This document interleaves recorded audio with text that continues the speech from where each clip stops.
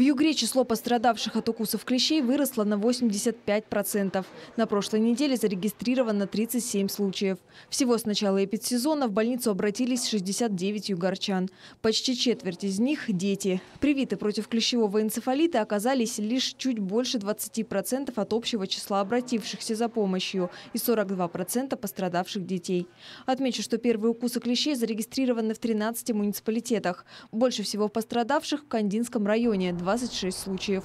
Далее Сургут – 7 случаев, в Ханты-Мансийске и Нижневартовске – по 6 случаев.